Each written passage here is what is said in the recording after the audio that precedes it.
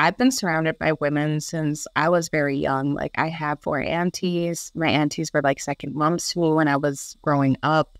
Um, I spent a lot of time with them. I had a very fierce and loving grandma. And when they started to um, disappear, I knew that they were aging or sick. Then it was like preparing for that passing and also trying to understand well, what does my role look like and how will I carry that, not only in relation to my family, but also in relation to my community, to my nation, and how I connect with other people. Hi, I'm Tamara, and this is TELUS Talks with Tamara Taggart. Today I'm speaking with Helen Knott. It's her second time on the podcast. This time we're talking about her new book, Becoming a Matriarch. It's a national bestseller, fantastic book. And today we dive into topics of grief, loss, and Helen's artistic process. I hope you enjoy the conversation. This podcast is brought to you by TELUS Smart Home Security. Secure, simplify, and easily monitor your home from anywhere using the Smart Home Security app. I really like it because my kids don't need to have a key anymore. They can just open the front door with a code and they don't have to worry about losing a key. Or better yet, I don't have to worry about them losing a key. You can visit telus.com slash smarthome dash security to learn more about Canada's most trusted security provider. Helen, it's so good to see you again. It's so good to be here, Tamara. The last time we spoke on the podcast was for your first book in in my own moccasins which uh, definitely goes down as one of my favorite books of all time. I think I told everybody I know to read it. And it seems like everybody did read it uh, because the, you know, before we get into your new book, which is Becoming a Matriarch, um, how was that for you? Because I talked to you really at the beginning of In My Own Moccasins Exploding. And tell me how that was for you. Yeah. I think I remember when it came out and I got my first like reader message and I, and they were like, this book helped me and helped me heal. And I was like, done. Like, even if nobody reads it again, like fulfilled its purpose, like check mark, I'm a happy girl.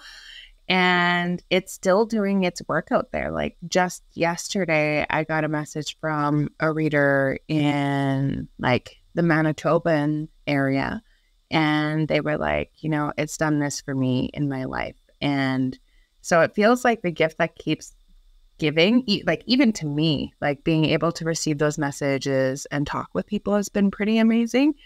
And, you know, no one has any foresight about like how books are going to do. And I thought, yeah, you know, this book came into the world. It was like loved and cared for, and it's finding its way into like the hands of the people that need it. And I was like, and the second book will come out, and yeah, it'll do okay. and here we are talking about becoming a matriarch, uh, a memoir. And I love, like, I love the cover of the book so much. It's gorgeous. Thank you. That's actually from a photo. So, my girlfriend, one of my best friends, took a picture of me in our territory, and I was gifted that Pendleton by a Cree brother for doing community work. And the feather that I'm holding, I used in a lot of like healing circles because my background's in social work, right? So um, for me, and that picture was actually taken overlooking the Peace River Valley, and the colors were similar in the sky. So I was like wrapped up in community care, had my like eagle feather for healing, rooted in my territory. And when they were doing book covers, they initially had that photo on the cover, and I was like, can we see it like digit, like artsy based, I think that's the way to go. And when I seen it, I was like, wow, that's pretty amazing. So I love it. And the one who rendered like the artistic rendition, she did so good. It's gorgeous. It really, truly is. So when you were sitting down to, I mean, not that you were sitting down, because uh, I don't think you ever do just sit down. I see your social media and you're always on the go, always, uh, you know, speaking to groups, doing your work um, and and raising a son. Um, so you're you're a busy person for sure. Was writing a second book? Did you feel pressure to follow up your first book, or did it come naturally? This book. I think I was just excited because I was like, oh, like I found out that I can write a book in the world. like that's a real thing that I can do. And once you do something, it becomes more tangible. So I was excited to write a different book, but I also gave myself space. And I think initially I was like, I had a different idea of what I wanted to write. And then I experienced losses and it became something else. And I had to let it become what it needed to be.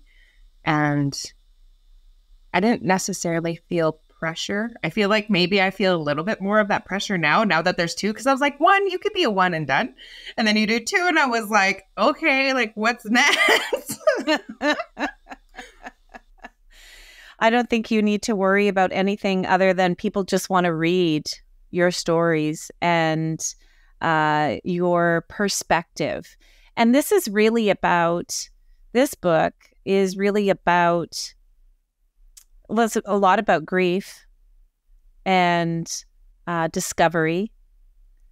Um, you lost both of your both your mother and your grandmother um, in over like six months within a six month uh, passing. So, can you can you talk to us a little bit about what does it mean to become a matriarch? What is a matriarch to you? Yeah, and like from different tribes, that concept or how people know what a matriarch is is so different. Like I was just in Terrace, and there they have a very matriarchal structure. There's people that are raised into roles, and it was like really beautiful to see and to be around so many strong Indigenous women within a matriarchal culture. And here, it's more like matrilineal, just in terms of like, which means like location. So if you're going to get shacked up or if you're going to get married, you're going to be moving to the woman's community. I remember when I dated uh, a Blackfoot man, he's like, I told my grandma about you, and she was like, Oh, she's from the North, hey, like those Northern women. I get a very strong, and I was like, Uh huh. Um, and so for me, this process of becoming is knowing that like I've been surrounded by women since I was very young. Like I have four aunties. My aunties were like second moms to me when I was growing up. Um, I spent a lot of time with them. I had a very fierce and loving grandma. And when they started to um, disappear, I knew that they were aging or sick. Then it was like preparing for that passing and also trying to understand well what does my role look like and how will i carry that not only in relation to my family but also in relation to my community to my nation and how i connect with other people. And wanting to move into that space very mindfully because it is different you know like carrying myself in the world in a different way without my mom and my grandma in the wings. Like i'm no longer a girl. I'm a woman I, you know, so I think like that also comes with like standing straight, you speak truth and being able to do that. And there's times where I'm, I'm in a room and I'll be like, well, what would my auntie do? Like, how would my grandma approach this? And then also learning to go into a space of like, how am I going to do this? Because not everything was functional either. So it's like, what am I putting down? What am I picking up? And how am I moving forward? Wow do you you say that it's different in in in the different you know territories but there women we give life right? We're life givers. And there's a there's a um a connection there that is lost a lot in other cultures. And i guess i guess by that i mean i'm I'm trying to enter the conversation towards forgiveness and um, what that looks like when matriarchs are held to this, you know, this, they're held, they're lifted up. Um, you know, being a mother is imperfect, it's hard. Uh, being a teenage girl is not easy. Being uh, a young girl, it's not, it's just, it's hard. Where does forgiveness fit into uh, becoming a matriarch? I think in terms of like first learning how to give myself grace for my imperfections, my shortcomings, the way that I failed. Um, you know, I have a son who's 16 and I know that I've raised him imperfectly. I've tried to do it to the best of my ability with therapy, with changing approaches that I grew up with. But I know, you know, there's going to be things where he's like, yeah, maybe I didn't really like the way that you did that. And I'm going to have to be okay with that and be like, good. Like, you take the good things from me, you change the things that you didn't want to happen for your children. I think with that grace with myself, then I could extend that to the people that came before me, the women that came before me, especially in regards to like, and this is why I think it's so important to speak about like history. And it's not saying like trauma dumping on your children or whatever that looks like, but at a certain age, understanding like the complexities of the lives that my mom, my aunties, all of them held. And then I could see in the spaces where they remained hard and how that was a protective function and worked for a really, really long time, but also being able to celebrate the ways that they were soft because I was like, you could choose to not love at all with some of the lives or experiences that they had, but I was like, they they did. They loved, they showed up, they were imperfect. We're all imperfect on this human journey. And I think that forgiveness piece is huge in that regard. And even like sometimes you might get that to that afterwards as well. And I also feel like forgiveness is so much about your own journey too, like releasing yourself to live in the world in whatever way that that looks like and live in a good way. So yeah, forgiveness is all wrapped up in it. And I remember uh, one of my family members, um, because I always see myself as like my purpose. I'm like, okay, I'm here to like, you know, do all this healing work. I'm lightening the loads and da da da. And there was one where I was like, I was crying. I was talking to my auntie. I was like, I just don't want to go. Like, I don't want to go. And uh, my, I had a family member in the hospital, and there was like history there. And my auntie was like, you don't have to. You realize that. She's like, you've done a lot of healing work and repairing relationships. You've taken the first step with a lot of people. You've tried to show up in your best way. It's okay to put this one down and let that person like move through it on their own. And I remember just bawling because I was like, I can put stuff down. yeah. So that was a huge piece for me. And to have someone that could say that to you that's a huge gift because I, I think that a lot of times we don't have that voice. We don't have that that care that care, right? And you said it was an auntie that said that to you and an auntie is a matriarch. Yeah, shout out to my littlest auntie. She's not the the youngest, but she's the shortest and she's actually the one like we've been having these conversations for I think since before we lost my mom and grandma like what will it look like when we are the heads of the family? How will we do this? How we will we do it differently? So it hasn't just been me alone. I've had her as a touchstone throughout this process. Mm, mm. And how do you? I find it strange to be parenting. Uh, strange isn't the right word. I find it uh, hard. Uh, well, I find it difficult to parent my kids who are the same age as some of my hardest times. And it's just down deep and it's always kind of, you know, there for me. No one else really knows about it. No one else is thinking about it like I am. Do you find that with your son? Not really, just because my son is so different than me. But what I do, I do some like mental comparisons just in like I feel like he's so different in the world, and I'm learning to give him more freedom to kind of roam about. But because I was like, at 13, I was catching greyhounds to other cities. Like at 15, I went down to Seattle or Tacoma by myself to visit my family. Like, and he's 16 and has done none of these outings like without me, right? It's a scene with me, but I think that's my fault for like not heli- helicoptering him my kids but you know what i mean like i'm like oh no like i, I still say to my 15 year old daughter oh you're gonna walk and get a bubble tea okay well just make sure that you're you know you're looking both ways when you cross the street because it's super busy at that and she looks at me like are you kidding me and i'm like I, I can't i can't help it i mean at 15 i was living on my own Whereas I'm telling her to look both ways, you know, before she crosses the street. Yeah. And I'm like, oh, you're going to go to the gym. It's kind of late. Can you please share your location with me? And he's like, Mom. Yeah.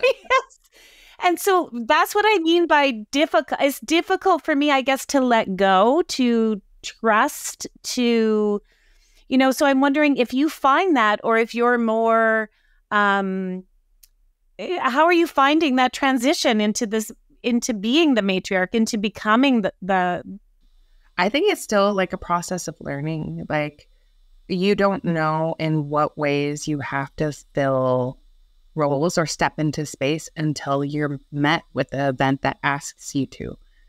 So sometimes it's like I can have all of these conversations and thought pieces, but I I really won't know until it comes. Like my my eldest auntie, my mom's um, older sister, she was very much like fierce in the community, did a lot of work for the region, uh, was very loving, very ruthless as well as a lot of the women in my family have been.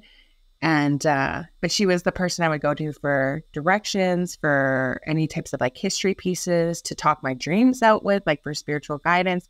And she passed in September.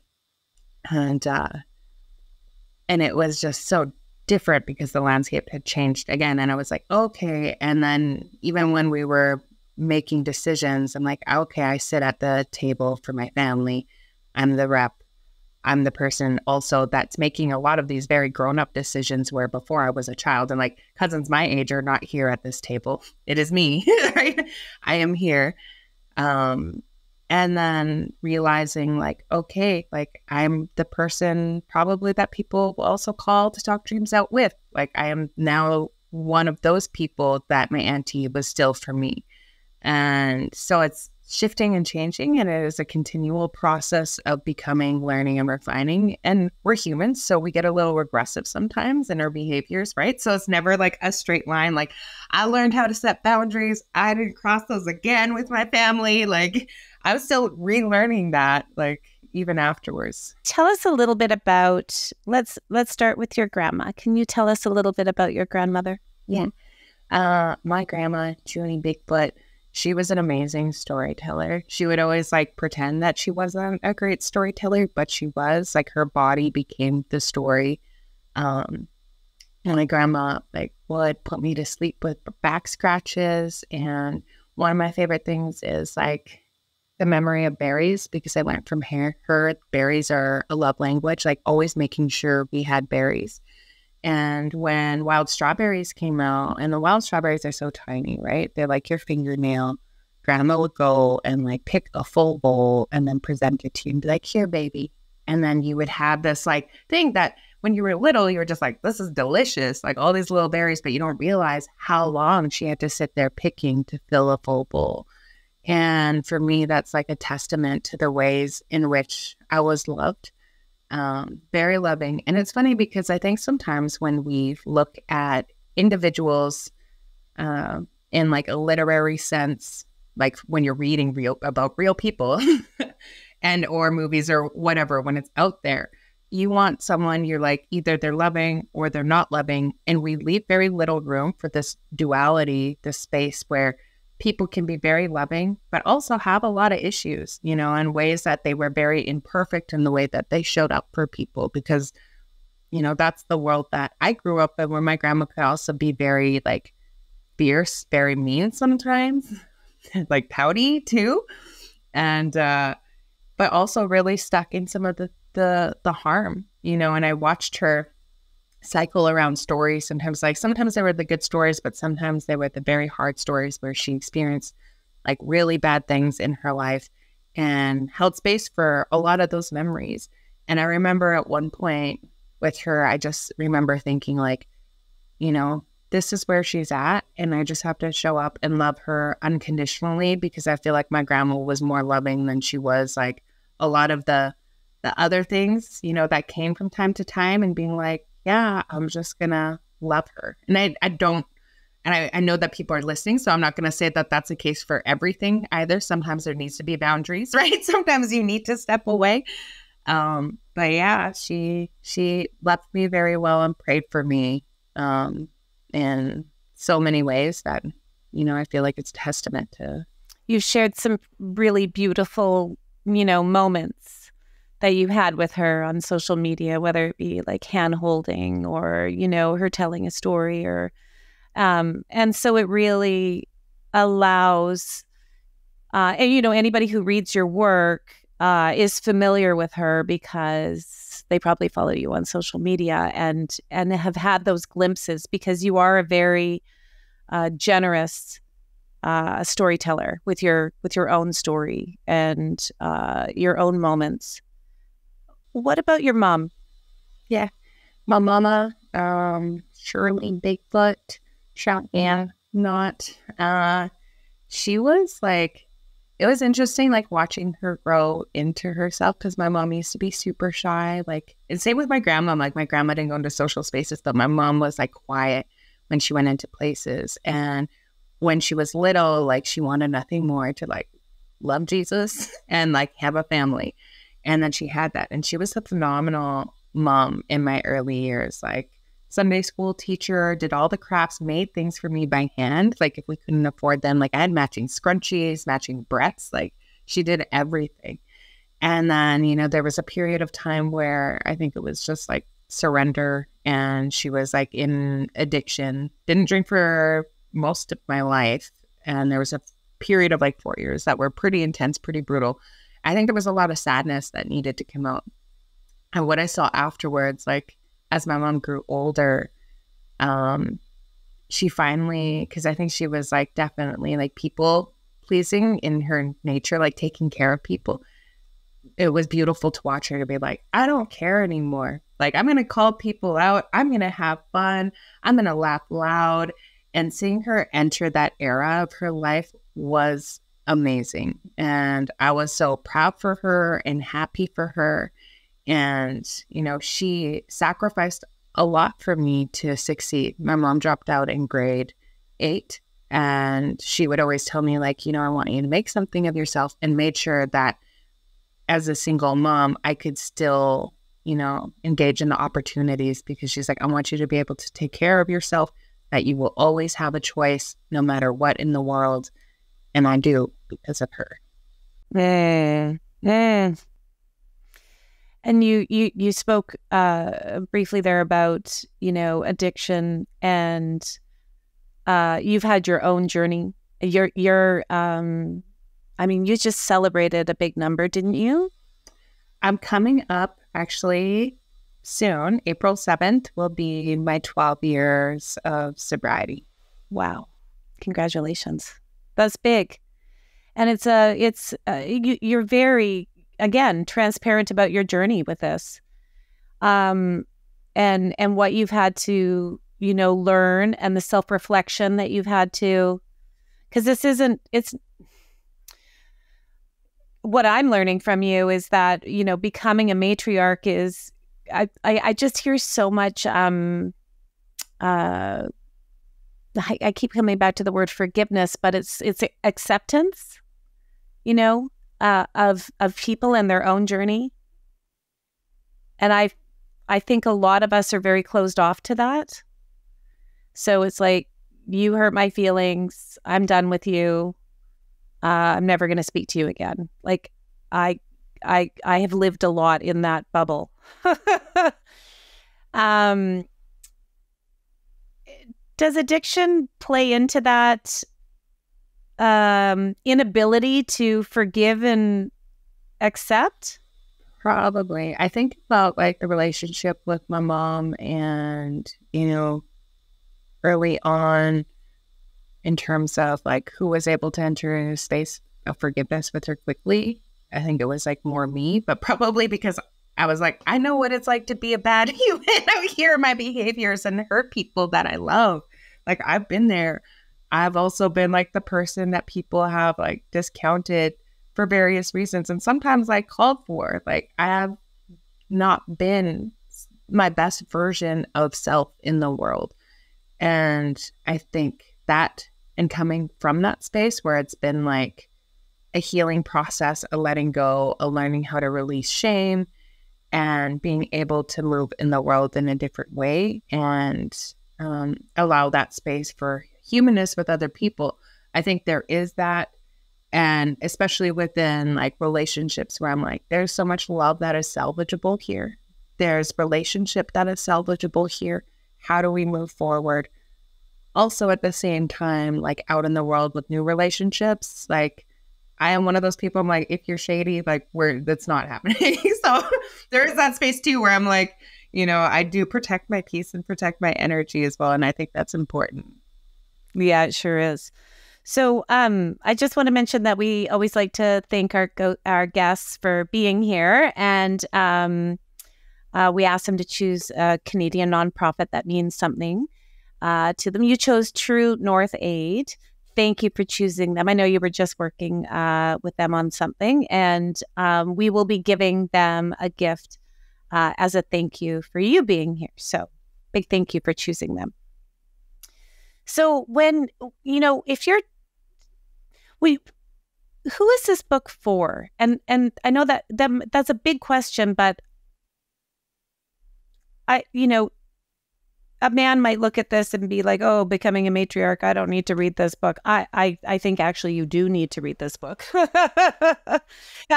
actually, um, but I'm just curious. Like when you were writing it, it, to me, it's a gift to all women, right? And I know you, you probably had maybe you had someone specific in mind, maybe you didn't, but the the the acceptance that you allow is such a gift to everybody. And so I'm wondering when you were writing this book, did you have that in mind that this was a gift for so many people? I don't really know because I, I know I wrote my first book with a very intentional audience, right? It was like spelled out in the introduction, like this is who it's for.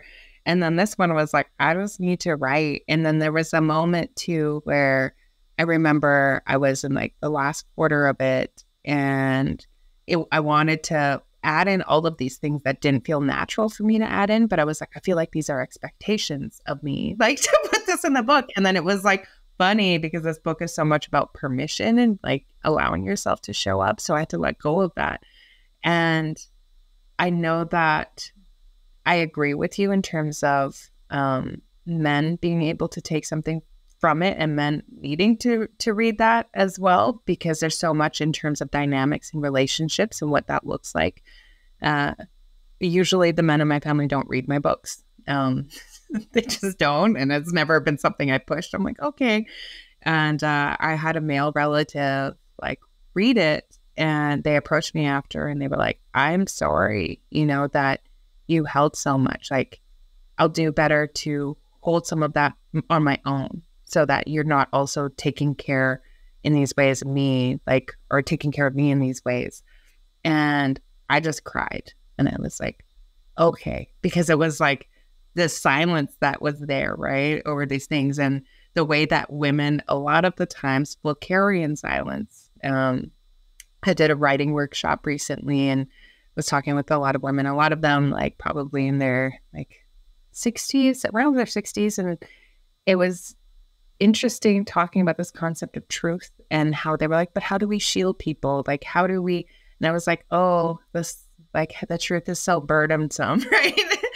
and I, so, yeah, I think a lot for for women um, from all different different backgrounds, you know, because we, I feel like lost is a universal language, and we have to, we all lose like our moms at some point in this world. So, yeah, and it's a lot of times a very complicated relationship. Uh, I don't, I can't think of anyone off the top of my head that doesn't have some sort of, or did at some point have a complicated relationship with their mother. And what you just said, where people are like, oh, well, how do we shield them from the truth? Like, and that's our protective, you know, us wanting to protect the ones we love around us. You know, the world is perfect. Don't worry. Don't, you, there's nothing bad to see here. Um, where does patience fit into this? The, you know, the uh, the process of healing. Uh, we like to do everything well many of us like to just kind of like get it done and move on uh, to the next thing i've got a big to-do list healing from this is not on my to-do list um you know i'd rather just forget about it but it it does take patience right oh yeah i feel like it's an sometimes an inconvenience for something to show up in the middle of your workday or whenever, you know, and you're outside and the sun is shining and then, you know, you want to blubber or whatever that looks like and feeling that frustration because I've felt that before where I'm like frustrated and I'm like, I just want to be happy. Why am I back here again? What does this look like? And patience is so key. I think of an experience that I had like two summers ago and it was like a very like intense not setback but um i would say like old memory being pulled forward because they like to heal in a straight line and it's not like that right? There's no steps. We like to put them in steps too like steps one through five and then yay like you're free. Uh doesn't work like that. And it's a slow process and i feel like there's less and less of that that memory or that story coming back um, at different points in your journey that will kind of throw you back. And the way that I explained it to someone, because I was sitting with them, and I remember the first time, like they were tightly wound around their story, and I could sense it by the way that they talked, their patterns. And then I seen them a few months later, and you know, they were able to go off in different conversations and talk about different things. And I was like, oh, baby, like your orbit is bigger. Your orbit is way wider. Like you you're that much further from those hard stories that you carry and you're able to like experience more. And uh, when i felt that experience like two years ago i remember feeling very upset because i was like why am i back here? I don't want to be back here again. Like i was like crying angry. It was a really big like i don't like using the word trigger. I don't. But it was a very big like setback and um or even setback. And uh, there was a moment like a day later where I was like, oh, you know, this is coming back so that you can clear it. Oh, you're going to have that much more freedom once you work through this. This is just coming up just so that you can create more space for yourself to love, to live, and to experience joy. And in that moment, I was like, all right, and just accepted it. Was almost like I was grateful for it, which was weird. Um, and then I worked through it and I was like, okay, we're putting this because it's not going to come back like this again. You know, we're letting this go. And I think when you start creating more space for yourself like that, you can feel it. And it is like such a worthwhile endeavor. Mm. Oh, Helen, I love talking to you. Um, Becoming a Matriarch, a memoir, so good. It's uh, available wherever you buy your favorite books online, in person. Uh, again, another book where you sit down and you cannot put it down, uh, just like your first book, In My Own Moccasins. Your website, Helen, is fiercewithheart.com, and she's on Instagram. All your beautiful pictures at Helen Knott 05. I can't thank you enough for being here. I love talking to you. Thank you. Thank you so much for having me. Thanks for listening to another episode of TELUS Talks with Tamara Taggart. Be sure to subscribe so you can join us every Tuesday for another conversation. You can also check out our website, telus.com slash podcast, and subscribe to our YouTube channel at TELUS Talks.